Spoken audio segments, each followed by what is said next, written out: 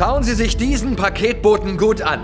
Er ist jung, er ist schnell und er ist gesund. 6,50 Euro die Stunde. Wer schlägt ein? Viel zu teuer. 5,50 Euro. 4,50 Euro.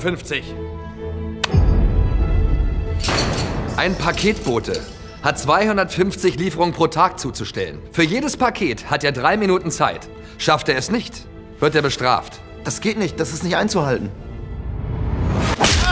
Wie viele Minuten habt ihr? Ah, drei.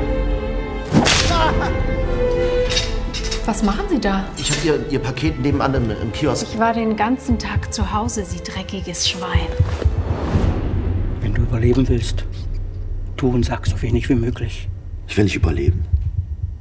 Ich will leben. Kostenlose Lieferung, kostenloser Rückversand. Und wer zahlt dafür? Wir! Wir sollten nicht die sein, die ausgeliefert sind.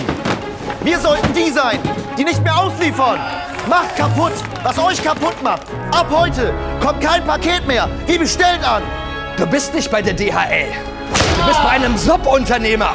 Für dich gibt es keine Regeln. Wir bringen das System zum Erliegen.